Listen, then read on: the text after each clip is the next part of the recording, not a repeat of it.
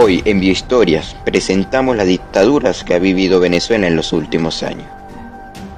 Número 4. Juan Vicente Gómez, 1908-1935. Juan Vicente Gómez gobernó Venezuela durante 27 años, años de dictadura autoritaria y de años donde se iniciaron cambios importantes para el país. Su cercanía con Cipriano Castro crearon lazos importantes, tanto como políticos como personales, llevándolo poco a poco a Juan Vicente Gómez al poder. Sin embargo, esos lazos fueron rotos una vez que Gómez destituyó del poder a su amigo Castro. Al comienzo de su mandato Gómez fue un presidente querido, sin embargo, al pasar de los años se convirtió en uno de los presidentes más despreciados, cruel y despiadados durante los años de su gobierno de Gómez. Durante el gobierno de Gómez se comenzó a desarrollar la formación del Ejército Nacional, la cual sirvió para su consolidación en el poder. El 7 de julio de 1931 prestó por última vez su juramento como presidente de la República, en lo que será su lustro final en el poder, dejando así a Eleazar López Contreras como presidente del Estado. Número 3. Marcos Pérez Jiménez, 1952-1958. Su gobierno comenzó tras ganar las elecciones de 1952 consideradas fraudulentas por sus opositores, y ser elegido como presidente. Antes de terminar su mandato convocó un plebiscito en 1957 con el objetivo de alargar su periodo al frente del país otros cinco años más. La oposición consideraba que este referéndum cambiaría la constitución de Venezuela de 1953, que contemplaba que la elección del presidente se debía llevar a cabo con varios candidatos y por elección directa fue derrocado en el golpe de Estado del 23 de enero de 1958. Número 2. Hugo Chávez, 1999-2012, parcialmente reconocido.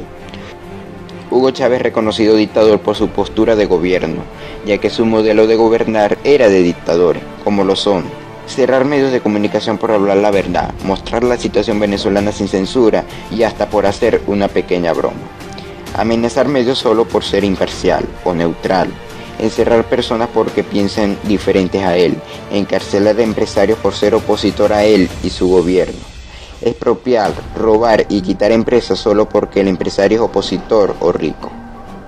Tenerle rabia a los ricos de Venezuela, solo para que él sea el único rico de Venezuela. Robar elecciones, llenar a Venezuela de odio psicológico, poner a Venezuela en la peor inflación y crisis del mundo, y como también matar a personas como sucedió en el Caracazo de 1989 y el golpe de Estado de 1992, provocado y convocado por él, solo para tomar la presidencia de Venezuela. Es reconocido dictador por el 68% de los venezolanos, por más de 20 países y por las organizaciones que lo son, el Grupo de Lima y la OEA. Número 1. 2013.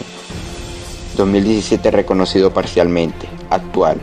Nicolás Maduro. Parcial. Nicolás Maduro toma la presidencia en el 2013 cuando ganó las elecciones de abril del mismo año en la cual hubo fraude. Fue reconocido como dictador y declarado dictador cuatro años después en el 2017 por los Estados Unidos de Norteamérica, por el Grupo de Lima, OEA, 86% de los venezolanos, por la Asamblea de Venezuela, por más de 50 países, por el Parlamento Europeo y la Unión Europea, entre otras organizaciones. Maduro es declarado usurpador desde el 11 de enero del año 2019, ya que toma posesión Juan Guaidó como presidente encargado de la República. Maduro es declarado dictador por los siguientes temas. Crímenes de lesa humanidad, usurpación de poder, narcotráfico, amenazar medios de comunicación. En Venezuela no hay libertad de expresión, no hay democracia. El que hable mal de él va preso. El que publique algo en contra de él en las redes sociales va preso. El que proteste en contra de él muere o va preso. No hay comida, no hay medicina. No hay seguridad en Venezuela, no hay derecho al voto en Venezuela, no hay libertad civil en Venezuela, no hay luz en Venezuela, no hay agua, gas, gasolina en Venezuela. Eliminó todos los partidos políticos de oposición en Venezuela. Creó grupos armados en Venezuela para quien esté en contra de él entre muchas cosas más. Sí, así está la situación en Venezuela. Confiemos en Dios que muy pronto saldremos de esta dictadura, que a diferencia de las demás no es igual, esta es la peor dictadura que ha vivido Venezuela. No es reconocido por él ni por su gabinete, pero sí por muchas organizaciones y presidentes de otros países. Soy su servidor y reportero de OH Televisión.